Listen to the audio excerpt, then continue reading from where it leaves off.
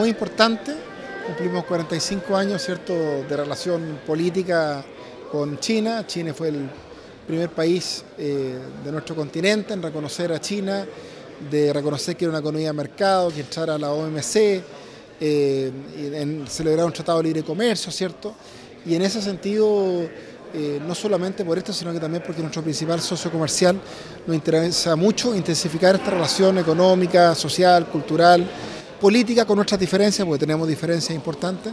Eh, pero bueno, lo importante es incrementar esta relación que puede generar más y mejores empleos para los chilenos, que haya más inversión china en nuestro país.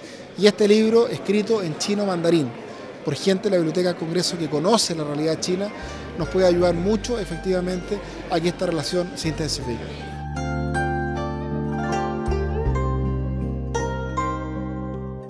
Básicamente intensificando la relación política, eh, mecanismos de conversación y diálogo permanente, eh, estableciendo lo que es eh, las confianzas eh, para que efectivamente haya más inversión y por supuesto manifestando nuestro punto de vista. Cuando hay una relación política uno puede manifestar también su diferencia. En Chile tenemos un régimen democrático con pluripartidismo, tenemos una realidad distinta ¿cierto? a la de China y en ese sentido yo creo que siempre lo cortés no quita lo valiente. Uno puede muchas veces tener diálogos políticos respetuosos sobre la base de las diferencias para poder incrementar esta relación.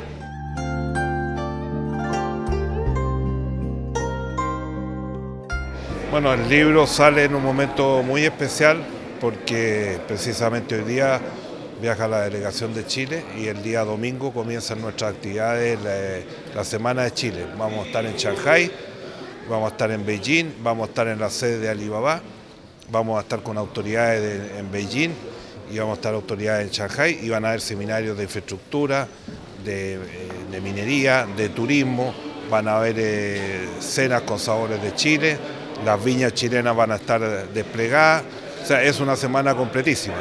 Y lo más importante es que ya tenemos cerca de 100 personas, de las cuales alrededor de 70, 80 son empresas chilenas que se van a instalar en la zona de libre comercio de Shanghai. Es una zona de libre comercio que ya lleva un año funcionando y a Chile se le ha entregado un stand de 2.000 metros cuadrados con 100, 100 eh, lugares. Y eso van a ocupar pequeñas y medianas empresas, porque allí van a poder tener toda la asesoría y la ayuda de funcionarios chinos para importar, para reexportar a otros países del Asia, para tener todos los sistemas aduaneros y todo el sistema de entrada a China, que no es, y sobre todo el idioma, que es lo más difícil. Entonces, ahí hay facilidades para 100 pequeñas y medianas empresas que nunca habían tenido oportunidad de entrar en ese mercado.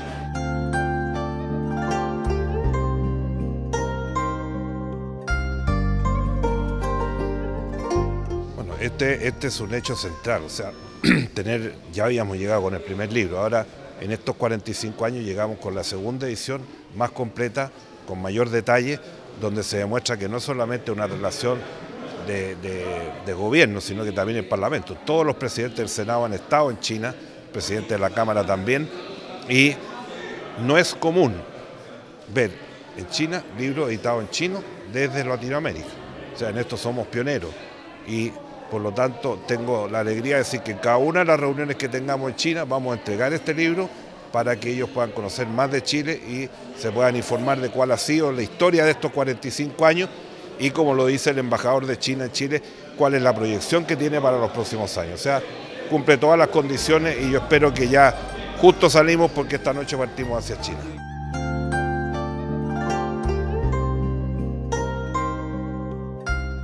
Bueno, no, no, solamente tiene que seguir involucrándose, nosotros desde fines del 2000 tenemos un acuerdo estratégico con la Asamblea Nacional Popular, que son 3.000 miembros, que es el, digamos, la institución más importante de China, se reúne ahora en septiembre a partir de octubre, perdón, para aprobar el plan quinquenal de los próximos cinco años y eso va a ser decisivo, digamos, para las relaciones de Chile y China y está el perfeccionamiento del TLC. O sea, hay pocos países en el mundo que tengan un parlamento con una alianza estratégica con la Asamblea Popular y todos los años se realiza una reunión anual, una vez en Chile, una vez en Chile, en que participan los miembros del Senado y de la Cámara.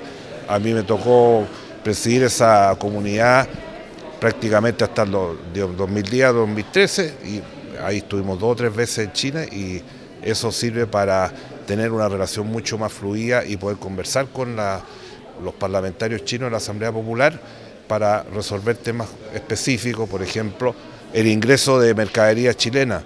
En los últimos años hemos logrado que entre no solamente eh, los arándanos, las, cerezas que ya copan el, año nuevo lunar, eh, las paltas, los cerdos, la ave, ahora metiendo las carnes y así. El vino que ya somos el segundo exportador mundial a China. Y eso se sigue y se continúa. Y cada una de estas conversaciones y estas reuniones, estas visitas sirven para consolidar esa posición y que Chile nunca pierda ese primer lugar que siempre ha tenido en China en los últimos 50 años.